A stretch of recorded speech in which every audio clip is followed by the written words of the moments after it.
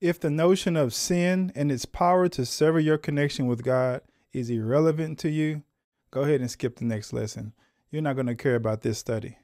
But for those of you who yearn to grasp what sin is all about from a biblical perspective and comprehend its impact on you and prevent it from distancing you from your creator, yeah, you're going to want to tune in to this.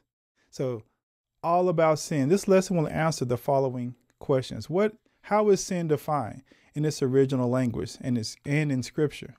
What is Torah and what is its role regarding sin? How is sin equal to not having the law? What are the New Testament authors really referencing when they mention the law and how does that deal with sin? What is the one goal that Yahweh has sought for mankind since the beginning, the fall of Adam and Eve in the garden? Let's start with the basics. What is sin? From a Hebrew perspective, from the Hebrew language, the original language written in Scripture, what does it mean? Then we'll jump to the Greek. First, in Hebrew, it's kata. It's a verb meaning kata, meaning to sin or to miss the mark or the goal. In Judges, we see this word pop up so you can understand how it's used in Judges 2016. Among all this, these soldiers, there were 700 select troops who were left handed, each of whom could sling a stone at a hare and what? Not miss. Or, in other words, not sin. See, normally we uh, uh, connect the idea of sin with being something bad and evil, and rightfully so. We'll get into that. But sin at this most basic level literally means to miss some mark, as in the case here. Also in Proverbs 19:2 says, "Desire without knowledge is not good. How much more will hasty feet miss the way?" So missing some kind of mark or goal, or in this case the way, is the idea rooted in sin, the word that is pronounced kata. Now I don't speak Hebrew, um, so Hopefully, I'm getting close enough with the phonetics. In Greece, in Greek, is hamartia. Hamartia, you'll see, have the same essence, meaning to be without a sherian, to miss the mark, to err, to be mistaken, to miss or wander from a path of righteousness and honor, to do or go wrong, to wander from the law of God, violate God's law, or sin. Some example you can see is in Romans 6 1, where it's used. What shall we say then? Shall we go on hamartia. Shall we go on sinning so that grace may increase? And Paul goes on. But again, we see this same essence is kept from Hebrew to Greek. Sometimes it's tough and sometimes much is lost in translation, but here we still see that same essence to miss some kind of mark or goal that we're after. So, the question you're tuning in to answer here is how do we keep from missing the mark or the goal. What is this all about?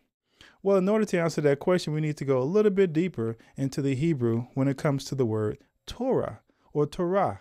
So you may have heard this word in Hebrew circles and whatnot, but the word, when you define it, literally means law, direction, or instruction. The word is pronounced Torah. So example is Proverbs 28 9. If anyone turns a deaf ear to my Torah, which is my instruction, even their prayers are detestable.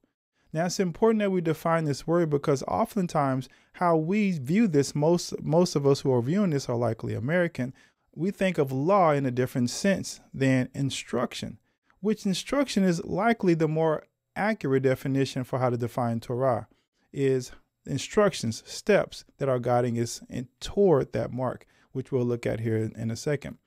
Psalms 1 verse 2 says, But his delight is in Torah, the law of Yahweh, and in his Torah, the law, he meditates day and night.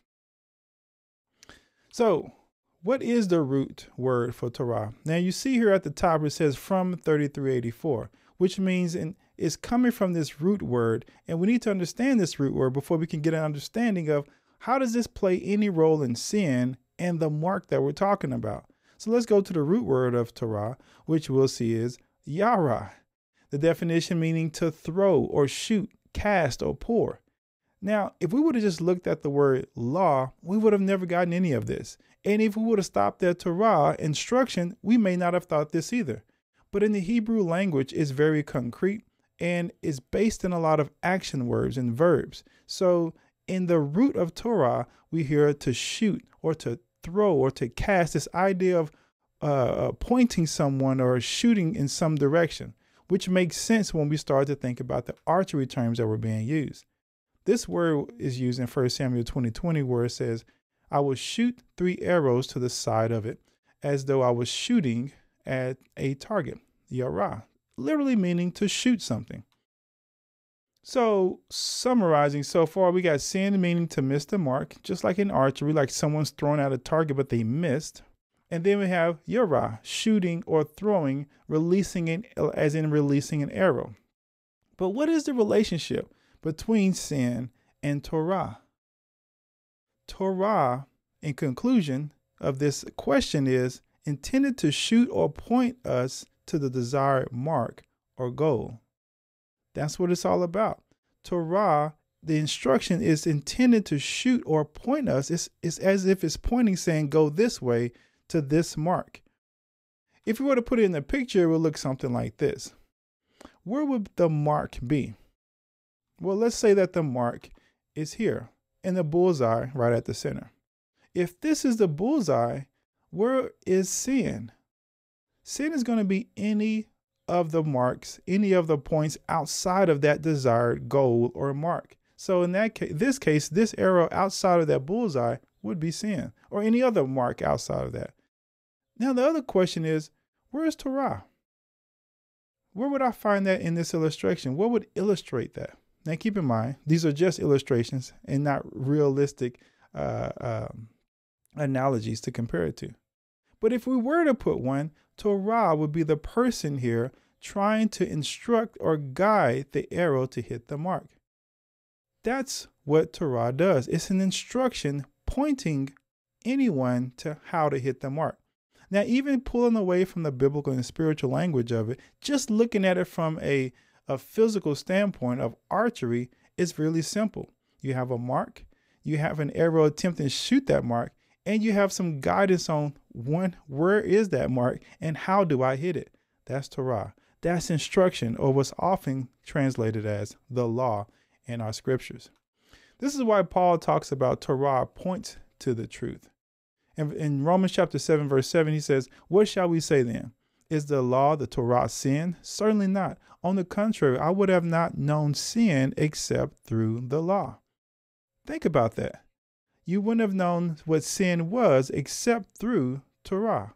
Just like we talked about in that picture, it's instructing us that there is the mark. It's saying, here's the mark and here's how you hit it. For I would not have known covetousness unless the law had said, You shall not covet. In Psalms 119, 142, using Torah as well, we see your righteousness is an everlasting righteousness. Your law, Torah, is truth. Now, this is a huge claim. Your law, your Torah, your instruction is truth. Why is this important? Because in the world we live in today, everyone is looking for truth. Or should I say, everyone is creating their own ideas of truth. And the question at the underneath it all oftentimes begs, where is your standard for truth? How are you coming up with that claim? Well, one of the places, the, the place that we can go to for truth is the Word of God. Now, I will point out that it's not just for the believers, it is the truth. It is not a truth, it's the truth for all. And this is where it gets upsetting because since relativity, we want to believe that things are relatively true. The, according to you and according from me, it's so much so to the point where we're able to redefine what's true eh, truth and become our own ruler in a sense, both one that measures and one that rules. We want to become our own ruler who creates truth. But the truth is found in his instruction, in his Torah. That is the place we should start. It helps us to understand what sin is, which meaning where someone missed the mark and when someone hits the mark, but it also instructs us on how to hit that mark. Romans 3 says the same thing in verse 20. Paul says, Therefore, by the deeds of the law, no flesh will be justified in his sight. For by the law, by the Torah, is the knowledge of sin. It can only be established by his instruction. That's what tells us what sin is and how we get to it and keep away from it. Matter of fact, transgressors, those who break the law or don't hit the mark, can be defined based on Torah. In James 2 8, it says, If you really fulfill the royal law according to the scriptures, you shall love your neighbor as yourself, you do well. But if you show partiality, you commit sin and are convicted by what? By the law, by the Torah, as transgressors. Now that sounds like some judging words, doesn't it? Why? Because it is. The word of God, the truth, the Torah is judging, saying you missed it. And these are some three letter words that no one, very few people want to hear is sin. We want to hear that we made a mistake. We want to hear about um, you have different perspective than I do. But to say that someone sinned is a huge accusation. And we start pulling the word in the card of judgment out. But that's what the word of God does. It instructs us on how to correctly judge. And Yeshua teaches us that when he talks about um, examining the plank in your own eye instead of the splinter in someone else. He says, judge properly, meaning use the word of God properly on how to judge. Take care of yourself, then others, then help your brother. But it's with this instruction. But the word does indeed judge, in this case, as transgressors. To sin is the state without Torah. So, what is sin? It is literally in a state, living in a state without the instruction, without his law. First John 3 4 says it clearly whoever commits sin, hamartia, also commits lawlessness, anomia. And sin is lawlessness. So, what is anamia? This is a new word that we've just encountered. In Greek, anamia, it's actually a combination of two words. Let's look at it. So anomia comes from the 459, which we'll look at here in a second. But by definition, just like we just like we saw in English, it's defined in Greek as to be a condition without law, lawlessness.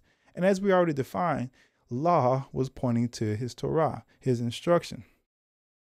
This is a condition without law. One, because of being ignorant, I did not know, I had no clue. And two, because of violating it. So any of those conditions are without the law. This is a state of sin. This means we're missing the mark because we're not uh, walking in the instruction that was given because of ignorance or because of violation, even though we knew about it. Contempt and violation of law, iniquity, and wickedness. Now, I mentioned a second ago, it came from 459 as a root. So, what is what is that word? This word is anamos, a combination of two words, as I mentioned earlier, a and namos. Namos meaning law, and a or a meaning the negative, just like we would have in, in the beginning of many of our English words. So this negates the law. So without law. The definition is destitute of law in referring to the Mosaic law. Departing from the law, like a violator of the law, lawless and wicked. This a is the negative participle which we just mentioned, and the nomos means anything established, anything received, usage, a custom, a law, a command. So nomos is the law, the instruction part. A is without. So that's animos. Now, when we see this in scripture translated, it's going to be translated pointing back to the Mosaic law system, to Torah, to the law of God most of the time. So it's important to note that because in many circles, in many religious Christian circles, the word law is is divorced from the Old Testament and the commands and his instructions is separated. But these New Testament authors, including Yeshua himself, are often referring, and most of the time, I almost want to say every time, referring back to the Mosaic law or to the law that God has established in what we call the Old Testament. Example of, of nomos is in Romans 2.12 where it says, For as many as have sinned without law, meaning animos, will also perish without law. And as many have sinned in the law, will be judged by the law. For not the hearers of the law are just, are just in the sight of God, but the doers of the law, of the nomos, will be just. What are they talking about? The law of God, the instruction of Yahweh. Well, there can only be one the instruction that was established since the beginning, the Ten Commandments and the laws that we see in what we call the Old Testament. This the, Paul is saying here that the one who does these are justified. Now, this is a whole other lesson to go into. Not that a person can uh, do acts of works to receive this, but they must be walking in righteousness. You cannot live in sin, even just looking at the Ten Commandments, living as a murderer and still think you're going to have salvation. But the point here is that the Torah is an instruction, is the namos. Matthew 5:17 Do not think that I've come to abolish the law. This is in the words of Yeshua, the namos. I did not come to abolish that. This has already been established. Or the prophets. I have not come to abolish them, but to what? Fulfill them. Plereu is a whole other study on how he what it means to fulfill, which means he was doing them. He did not come to get rid of them. This is what's used to determine what is sin and how we can follow it. So if you're concerned about being separated from God because of sin, we must understand that the nature of sin is to be outside of his Torah. If there is instruction that he's literally telling you on your spirit and some things you read or heard from scripture, and it's very clear, that's the one place to start and making sure we're not living in that sin. Sin is lawlessness, as we mentioned. Here's another description in Matthew 24 that highlights this. Then Yeshua is speaking about a day to come as a prophecy. Then they will deliver you up to the to tribulation and kill you, and you will be hated by all nations for my name's sake. And then many will be offended, will betray one another, and will hate one another. Then many false prophets will rise up and deceive many. And because lawlessness, anomia, will abound, the love of many will grow cold. Wow. Because of lawlessness. Let's go back to that definition. Lawlessness is to be in a state that is not recognizing, observing, and violating the Torah and the instruction that God has laid out in His Scripture and all of Scripture. And, and the false prophets are rising up, deceiving those as if this is not wrong, deceiving people. And because of this lawlessness, many will turn and the love of many are growing cold. Even in this day, there are many who are teaching that his instruction is not to be listened to. Many are teaching that we can have it any way we want to and come up with anything we, we want to do. Just do this, just be kind, just do this. But we're not heeding his instruction and his law clearly. Remember that Yeshua is to be your master, no one else, and we need to listen to his words. If I were to put a picture to it, this is what it might look like. Someone trying to hit the target without Torah, Anam, anamos, anomia, without Torah, a, a state without instruction, just coming up with their own ways. And this is so much the state today than probably ever any time before, where people are literally making up their own idea for truth and saying, This is what I'm going to aim for, this is how it's going to be, and this is what I decide. And no one can tell them otherwise, which is fine. But for those of us who are ascribing to follow Yeshua and understand that there is a kingdom to come and there is a kingdom that has already come, he's already have established rules, instructions, and laws. And there is a truth and there is something that is wrong. And he judges all according to that truth. We cannot do that. Matter of fact, this is more like a person being guided by the adversary because surely they're not running their own show oftentimes they're being cajoled and uh, encouraged by the adversary, Hasatan or Satan, and, and, and are being told to shoot for a different target. No, don't shoot that one, shoot this one. This is the goal. You want to be beautiful. You want to be intelligent. You want to be rich. You want to be powerful. This is the point of life. And whatever the goal is, and saying that this is where you should put all your eggs and all your energy and all your focus. And then we hit that mark not realizing that we miss. I'm reminded of a scripture in Revelation that says, "You they were pitiful, poor, blind, and naked." He says, "Pity you guys." I think it was the rich. You, but then realize that they were pitiful, poor, blind, and naked, completely hitting a target and failing, aiming for a target that they didn't realize they were failing at each time. This is what the adversary does. This is the state of anomia, of Torahlessness, of no instruction, no guidance, and uh, unwillingness to humble oneself, to listen to anyone other than themselves or some other uh, teaching or leader that does not ascribe and align with the teachings of Yahweh. Now, something else becomes sin. Matter of fact, anything outside of that original point that we mentioned was Torah will be sin.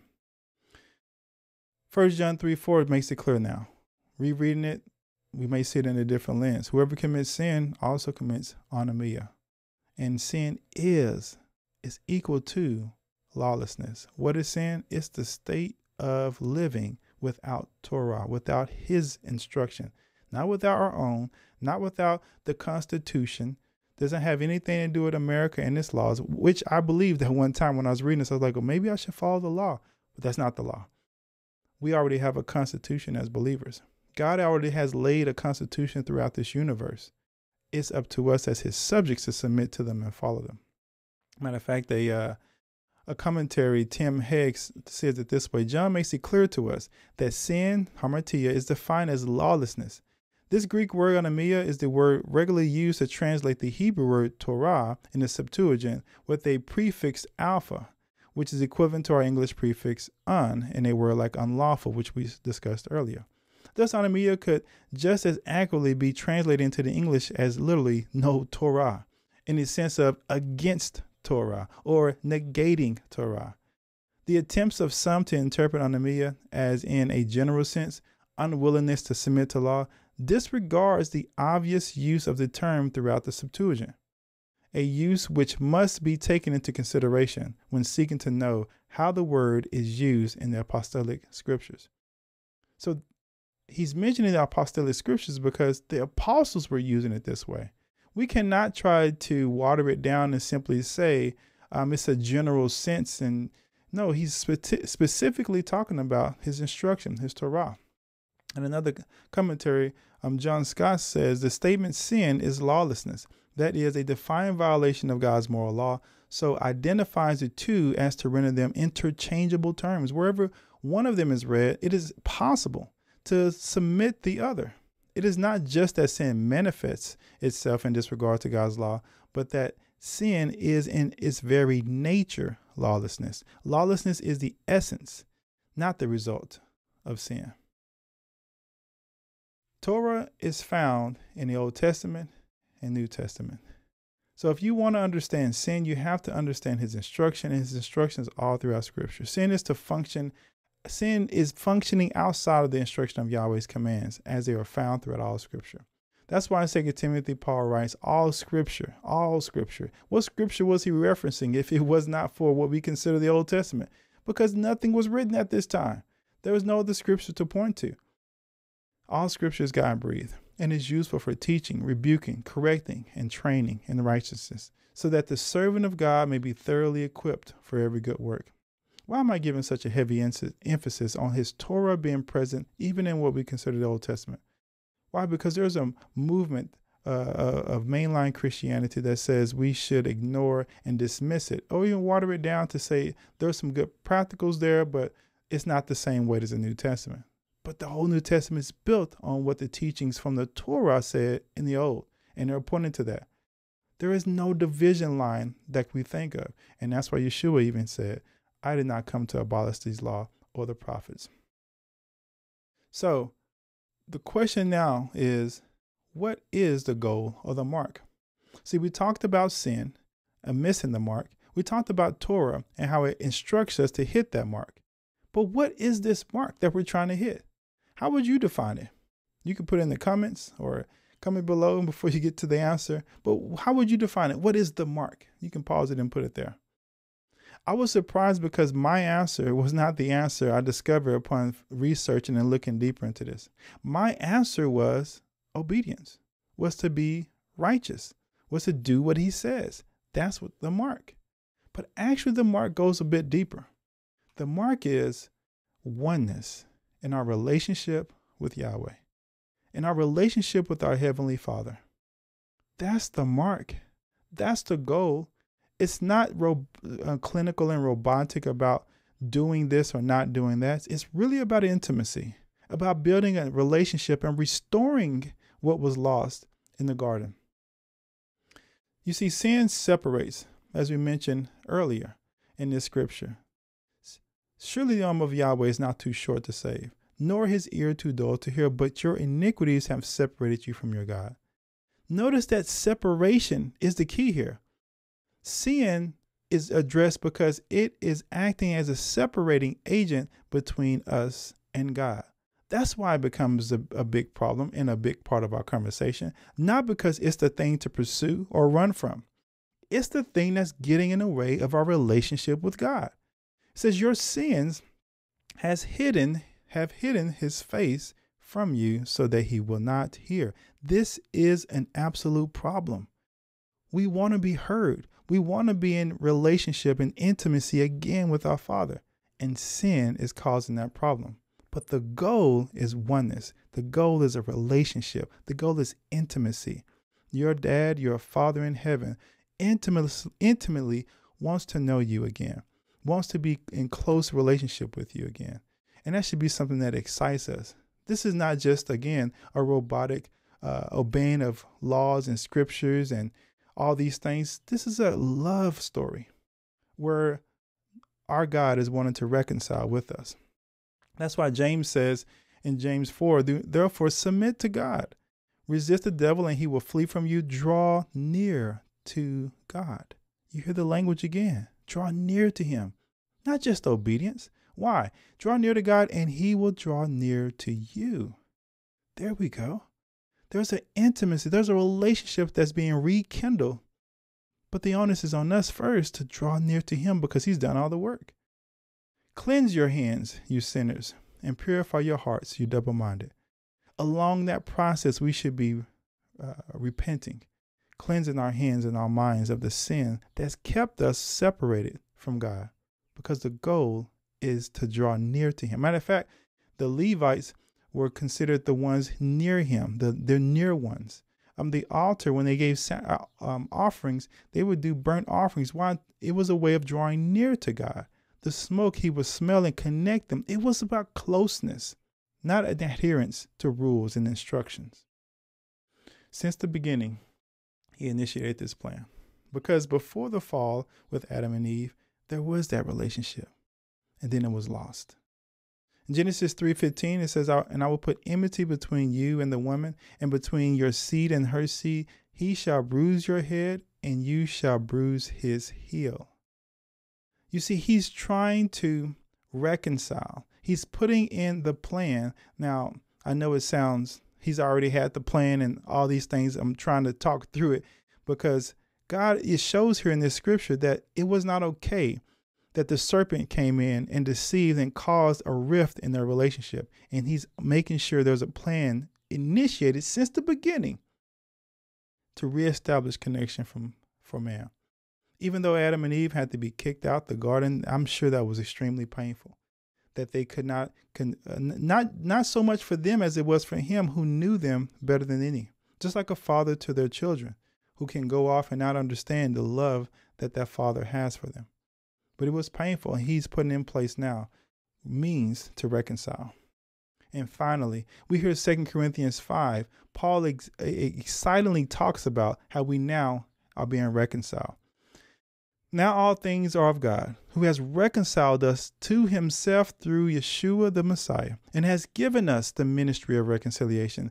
That is, that God was in was in Christ reconciling the world to himself, reconciling the world to himself, not imputing their trespasses to them, and has committed to us the word word of reconciliation.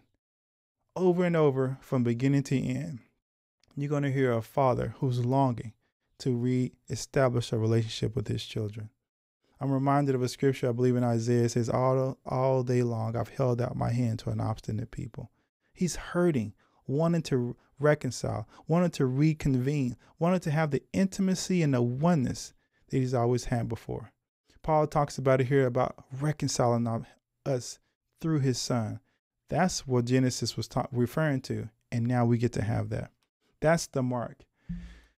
And he mentions again, we can see the same language. And you who were once alienated and enemies in your mind by the wicked works, yet now he has reconciled in the body of his flesh through death, to present you holy and blameless and above reproach in his sight, if indeed you continue in the faith, grounded and steadfast, and are not moved away from the hope of the gospel which you heard, which was preached to every creature under heaven, of which I, Paul, became a minister. He contrasts where we were before to where we are now. He didn't say we went from not obeying to obeying. He didn't say we went from living in sin to now we're walking in righteousness. No, that's not the point. The point is reconciliation. We're at one and at peace with God again. God has drawn us back through his son. And it's an exciting moment. Lastly, Yeshua, we see this in his prayer as he prays for his disciples and even us.